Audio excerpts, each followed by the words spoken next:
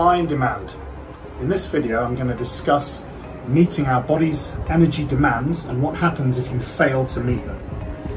As I've mentioned before, eating small and frequent meals is a great strategy that can help our bodies to meet our supply and demand requirements. A good analogy is to think of your body as if it were a business. A business is only successful if you're able to match the supply with the demands of a product. Similarly, your body's performance depends on matching the supply of energy with the demand for energy. By supply, we mean energy that's going into the body in the form of a calorie.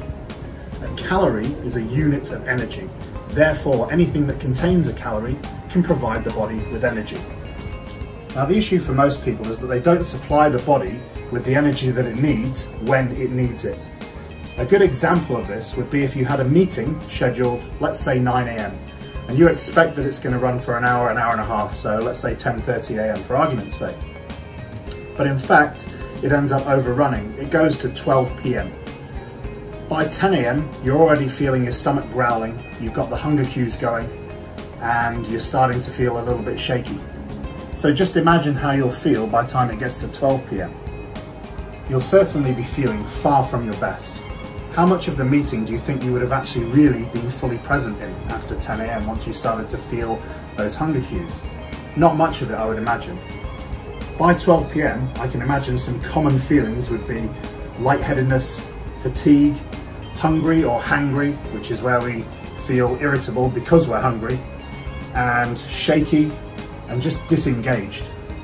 At this stage, essentially your physical, mental and emotional energy is all compromised.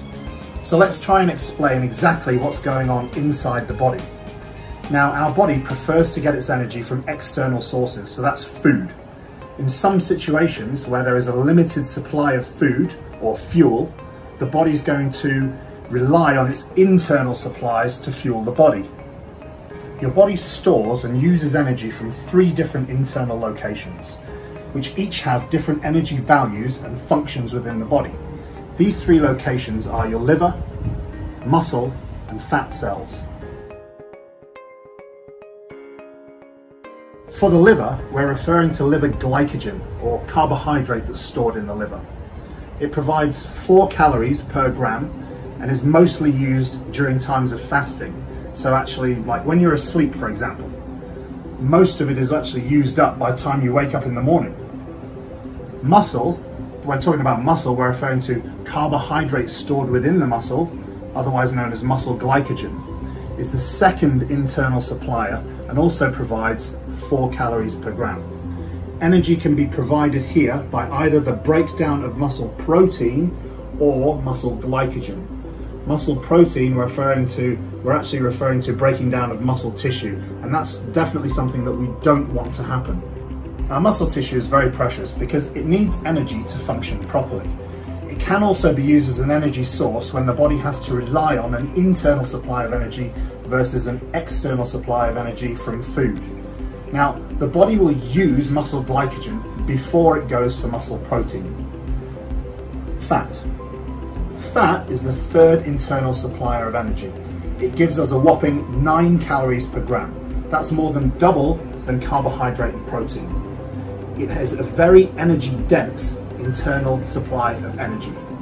If we don't provide our body with energy from external sources for extended periods of time, our body is going to adapt by slowing down our metabolism and preserving fat stores so that it can maintain a certain level of its internal energy supply and also be able to meet future demands of energy.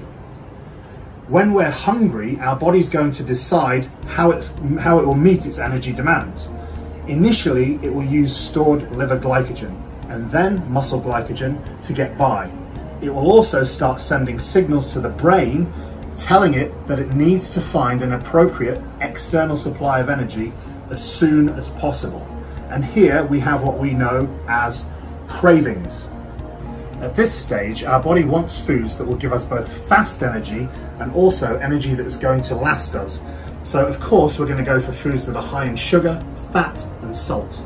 Salt doesn't actually have any calories, so we don't crave it for energy, but we may crave it for taste, as well as craving for foods high in carbohydrates and fat that also happen to be salty.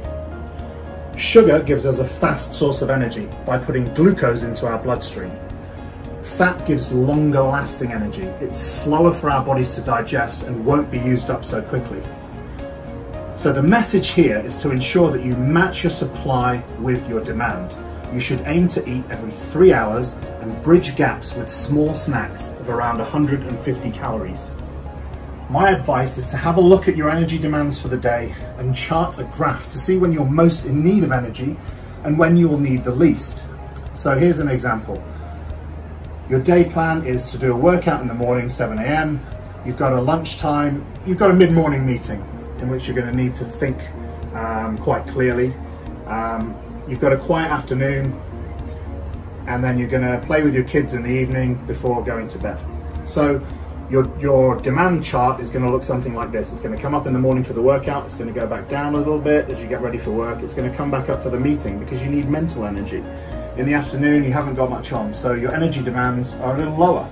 And then you need some energy to be able to engage with your family in the evening. So you're going to have a slight um, increase in energy demand there, and then it's going to drop off. So that's a good way of planning out your energy intake for the day is by actually looking at where your energy demands are going to be. This is the logical way to do it. In the next video, I'm going to discuss what happens when you overeat because you are so hungry from not eating enough earlier and not planning out your energy intake properly. Hope you enjoyed the video and I'll see you soon.